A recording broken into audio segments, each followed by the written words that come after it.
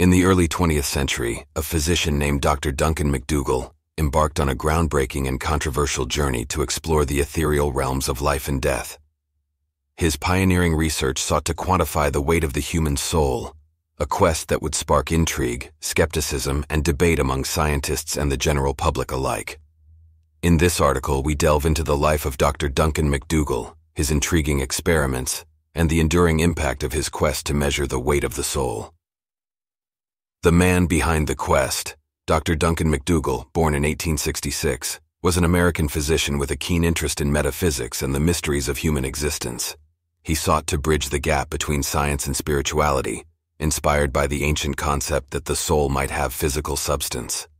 MacDougall's fascination with the intersection of the physical and metaphysical realms led him to embark on a scientific exploration that would challenge the boundaries of conventional thinking.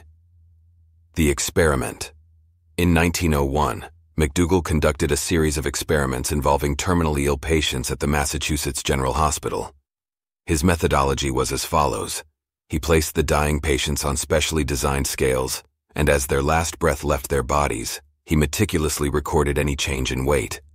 The intent was to capture the elusive moment when the soul, if it existed and had weight, departed the mortal coil. Over a period of time, MacDougall conducted experiments on six patients. The results suggested that there was a slight weight loss at the moment of death, ranging from three-fourths of an ounce to one and a half ounces. MacDougall concluded that this weight loss was evidence of the departure of the soul from the body, marking a profound moment in the transition from life to death. Controversy and skepticism. While MacDougall's experiments garnered attention, they were met with skepticism from the scientific community. Critics pointed out various flaws in the experimental design, including the small sample size, potential measurement errors, and the lack of rigorous controls. The scientific community, accustomed to empirical evidence and methodological rigor, was divided, and many viewed MacDougall's conclusions with skepticism, as they deviated from accepted scientific methodologies. Furthermore, the nature of the soul itself remained a philosophical and theological question, making it difficult to apply quantitative measurements to a concept that transcends the physical realm. MacDougall's work became a lightning rod for debates about the compatibility of science and spirituality, with some embracing the notion of a measurable soul and others dismissing it as pseudoscience. Legacy and impact. Dr. Duncan MacDougall's quest to measure the weight of the soul may not have provided conclusive scientific evidence, but it left an indelible mark on the intersection of science and metaphysics.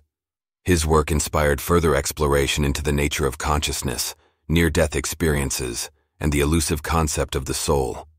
In the decades that followed, advancements in neuroscience and our understanding of consciousness shifted the focus away from attempting to measure the immeasurable. The scientific community increasingly turned to empirical evidence and rigorous methodologies, leaving MacDougall's experiments in the realm of historical curiosities. Despite the controversy and criticism, MacDougall's work opened up avenues for interdisciplinary discussions and fueled the imagination of those intrigued by the mysteries of life and death.